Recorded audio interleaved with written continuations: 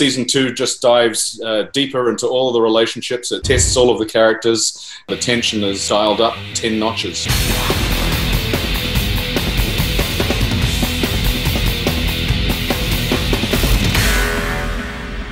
that road to redemption is a huge theme in season two. Not necessarily that they will get redeemed, but the, the process of what that looks like for them is a lot of what we're going to see. Who invited you exactly? Starlight. She's in an emotionally rocky place, stifling her emotions in order to keep working at, you know, accomplishing her mission to make the world a better place. And now that involves taking down Vought and working with Hughie. We can't just kill everyone. That's exactly what we're going to do. With the revelation that, that uh, Billy Butcher's wife, Rebecca, is still alive, his focus shifts entirely to finding her and rescuing her. And, you know, obviously he needs the help of the boys to do that. And he's not in good stead with the boys. Not a word from him. He left us for dead, and now it's like nothing happened? In terms of Frenchie, well, he gets an origin story. What is more cool than an origin story? The deep he's in a bad way. He basically will do anything for anyone to help him out. Someone kind of sees him and, and, and takes him by the hand and introduces him to some, you know, form of religion, and, and he's a little bit manipulated in that way, but just uh, always trying to get back into the sevens. Did you just join the Church of the Collective? Maybe. You're an idiot. Hey, easy on the religious persecution, okay, new girl? There's some healing to be done. Uh, there's a lot of restructuring and some figuring out, you know, about morals and intentions and, and things of that sort. For A Train, especially, you know, he hasn't even really hit rock bottom yet. I mean, sure, he's health wise, he's not feeling too great, but the worst is yet to come. These maniacs could be waiting for their chance to kill us all. Any good genre is a metaphor of the real world. The Boys has always been a show that will incorporate real world events. When we were writing the show, things like the travel ban were happening, or the supposed caravan that was going to come up from Mexico. So we were just really interested in how authority figures use racism and xenophobia to control the population. And so that became a big theme this uh, this season. I'm Stormfront. Who? I'm the new girl. Wonderful. The introduction of Stormfront, initially, I think she kind of is excited by this new rebellious energy within the Seven. Stormfront is not interested in any nonsense, and she thinks of Starlight as a little bit of nonsense. Look, I am with you, sister, but first we have to go get the terrorist, okay? I think Stormfront behaves the way Starlight wishes she could behave and didn't know it was an option as a part of the Seven. So I think that's inspiring to her. But I think the more she learns about Stormfront, the more she realizes she wants nothing to do with her. When she becomes aware that Stormfront is also wearing a mask and she becomes privy to what's lurking underneath, she's not as excited about her presence. Stormfront really comes in uh, as a disruptor, and she sort of represents new media. She's a star of social media. And in a lot of ways, the seven are dinosaurs. They're very much like in the George Clooney, Brad Pitt, Julia Roberts level of old school fame. I'm just trying to help. Really?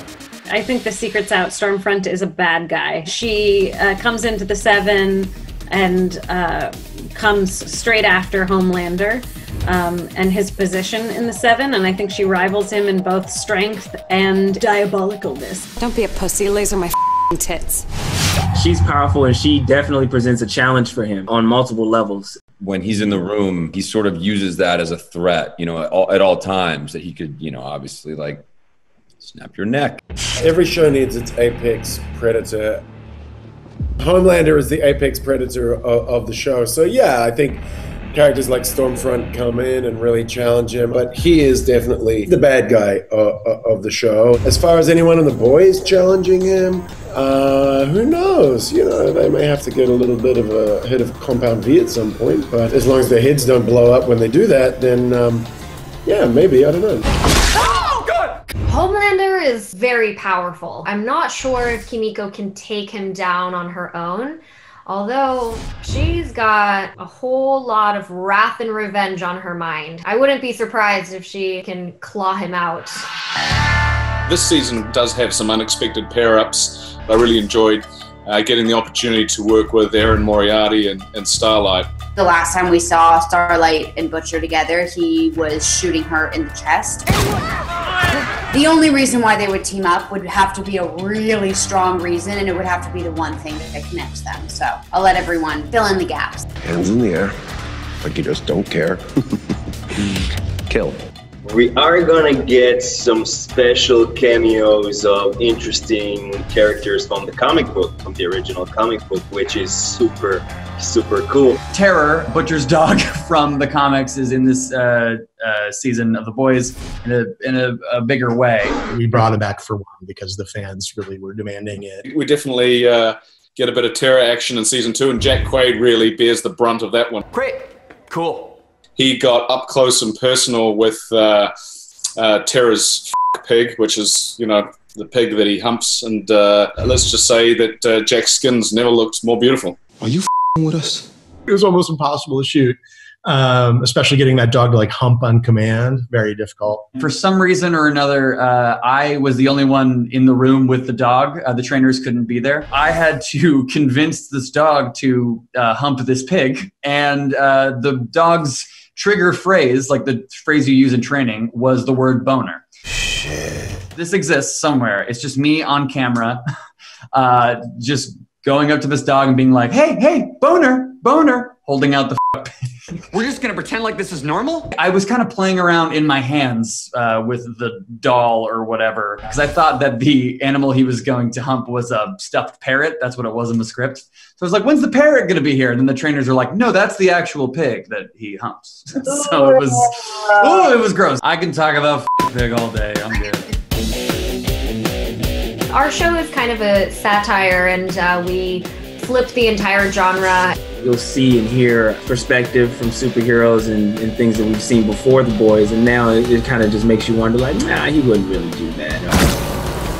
This has kind of broadened my mindset on what these characters could actually be thinking. Every superhero universe has its own majesty and its own mystique and I still am a fan. I still have other superheroes that inspire Mother's Milk, who I am within the team. They inspire me to continue to push and, and find other ways to play him. We're all playing different sports, but ultimately we're all athletes, and without them, there is no us. Um, so you know, I've I've got nothing but respect for those guys. I just, if I'm honest, like uh, I love playing the bad version of, of those characters, and uh, no regrets over here. Uh, the deep would win, obviously. I mean, there's no question about it. You know, there's just no question about it. A Train would win too. It's debatable who's going to be faster, but what I know about A Train is that he's he's uh, stronger. He's you know, so like in a fight, once they actually do clash, I think A Train he's clearly grown up eating his walnuts. Like he's he's pretty strong. If I had to choose who would win in a fight, Katana or Kimiko, it's hard to say because they both have powers and Kimiko can heal herself, but what if she's already trapped in Katana's sword? Ooh, Homelander versus Superman. I'd just take some hostages, start trying to kill people, and he'd feel the he'd feel obligated to save them and uh, lower his guard, and uh, at some point Homelander would take him out.